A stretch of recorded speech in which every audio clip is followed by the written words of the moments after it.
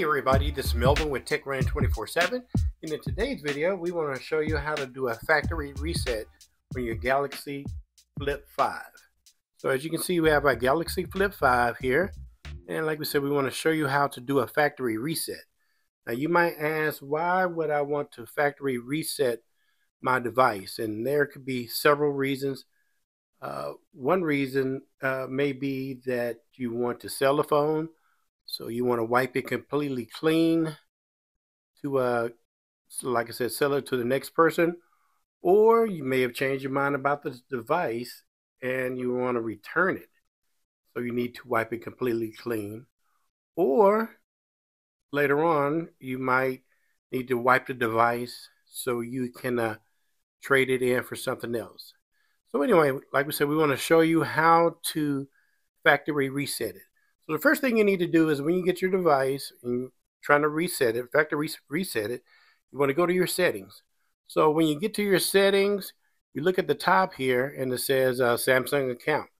Now, people make the mistake in not doing this, so please pay close attention. What you need to do is tap on that and it will open up to show information for your Samsung account what you need to do first is sign out of the account.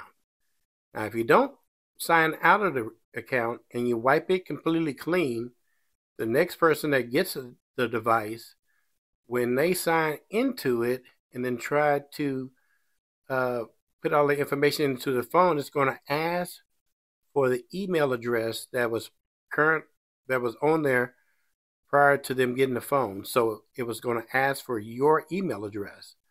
So, like we said, what you need to do is go first to the top there where it says Samsung account right there. Tap on that, open it up, go down and sign out.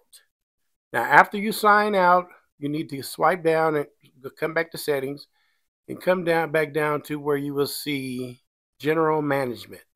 So tap on general management like so. And then you would come down to where you will see reset. Tap on reset after you get to reset, you have the uh, choices of resetting all settings, reset network settings, and reset accessibility settings. Or the very last one, factory data reset. Now, when you factory data reset, keep in mind too, that's going to wipe the phone completely clean. It's going to take off all the email information. It's going to wipe out all your passwords and everything. So you hit factory reset, like we said, it's showing you all the stuff it's going to wipe out. And then final step is then hit reset again. And then, like we said, it's going to wipe your phone completely clean.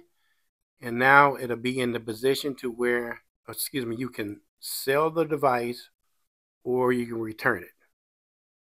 So that's it for our video for today. How to factory reset your Galaxy Flip 5. Well, hopefully we shared something that you can use and something that was beneficial. If so, be sure to hit that subscribe button down below. Hit the like button and don't forget to hit the uh, bell icon too so you can be notified of new content as soon as we release it. And again, this is Melvin with TechRunin 24 7, bringing you technology that's on the move. Thanks.